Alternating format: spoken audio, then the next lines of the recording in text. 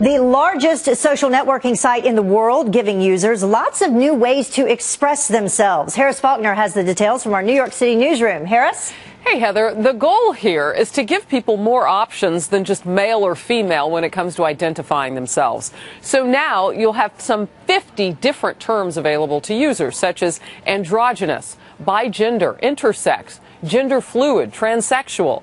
A Facebook executive says this about it to allow people to be able to express their genuine, authentic selves on the site, and we want them to express their whole selves. We want to make that available for everyone we possibly can. And everyone for Facebook at this point would be the 159 million users. The social site says 1% of them check the box for other in their profile at this point. Now they'll be able to use those options that they'll see already in the United States pretty quickly. And the plan is to roll it out globally next.